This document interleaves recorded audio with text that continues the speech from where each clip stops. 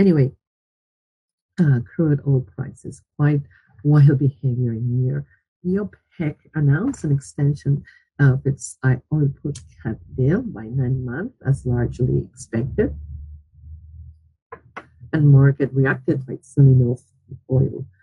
In fact, is that the, the uh, I was reading uh, last week when the OPEC made, I was reading headlines coming from oil ministers, and they sounded too optimistic, you know, but saying that uh, cutting out, extending the cut for nine months was going to do the job, was going to be so great. And the fact is that it wasn't during the past six months. So why would we believe that it will actually work later, particularly when we U.S. production rising weekly basis, right? Baker Hughes reports that comes out every Friday shows uh, this last one that uh, the number of um, drilling rigs for oil in the US has increased for the 19th consecutive week. So, despite we get some relief from the stockpiles report weekly basis, the fact that the US keeps production producing, and therefore the risk is moving towards the downside. The OPEC decision, the OPEC cut won't be enough to offset increasing US production in, in the long run, and I believe that's what's weighing on the prices. Anyway, we have attempt today to regain the 50 level, in fact, yesterday and today, and still unable. It's uh, kind of a behavior in moving average showing us the market is still uncertain on what to do.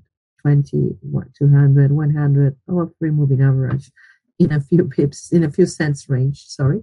It's telling me that the market is now looking for a certain direction, okay? And my take is that that direction will be probably towards downside. Um, sorry, taking a breath. Anyway, uh, 49 and 49.20 is my immediate support area. Below that, the commodity can return towards its lows, 48.20, and even lower towards 47.20, 47 area. Uh, I'm actually not seeing much of a reason uh, for the commodity to fall below this level. Although, if somehow US stockpile data begins to increase again and surprise towards the upside, maybe in a couple of weeks we get oil back below 47, around or below 47, but not that much below. Anyway, uh, towards the upside, 50 50 is for me the first level to watch. I really like to see it recovering this level to, to bet on, on further advances, but not beyond 52. Any approach to 52 for me will be either an opportunity to sell or to take profits out of the table. Okay. Anyway,